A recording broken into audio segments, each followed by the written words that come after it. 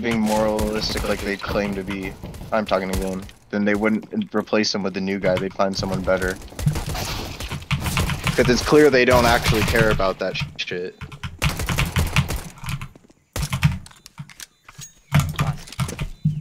Are you right? A long time now.